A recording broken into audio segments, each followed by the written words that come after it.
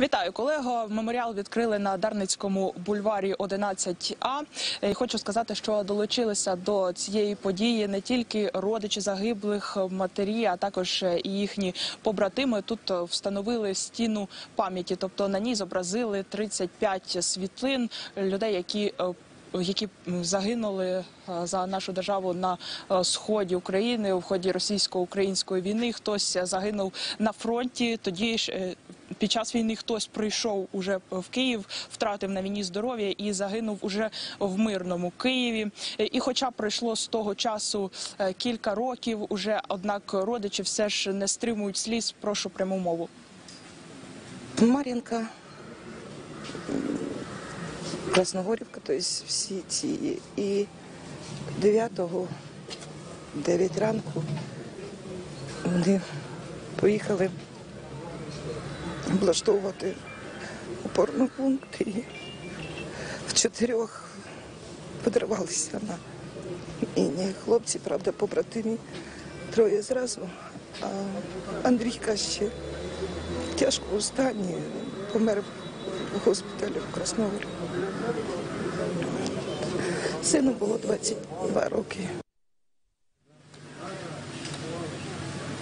Крім стіни пам'яті, також відкрили і меморіальний знак. Це такий пам'ятний хрест. Родичі кажуть, що їм е, дуже зручний і потрібний цей меморіал на території Успенської церкви, адже постійно їздити в центр до стіни пам'яті це незручно. Хочеться прийти, е, вшанувати свою дитину або свого побратима на території району. І хочу зазначити, важливо також і те, що це перший на території району меморіальний комплекс. Е, В інших районах такого немає.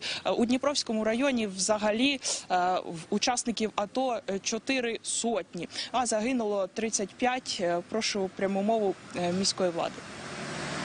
Це якраз ті люди, які проживали, які загинули в 35 в Дніпровському районі. Вона перша така стіна пам'яті на рівні району. Ви знаєте, що у нас є стіна пам'яті на біля Миха... на Михайлівській площі, але там всі загиблі. Ми встановили в адміністрації інтерактивну дошку загиблих учасників АТО всього Києва. Але ми розуміємо, що не всі люди власне їдуть до адміністрації, а тут все таки люди бувають частіше. Якщо в Дніпровському районі а, близько двох тисяч учасників АТО і 35 загиблих, це власне стіна пам'яті для загиблих.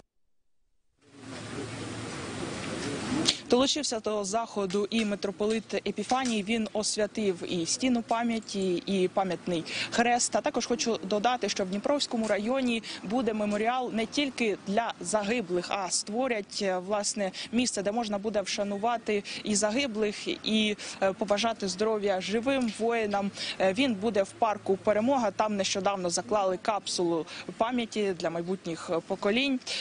І відкриють його вже через кілька років. Зараз розробляють проект. Наразі у мене все. Студія.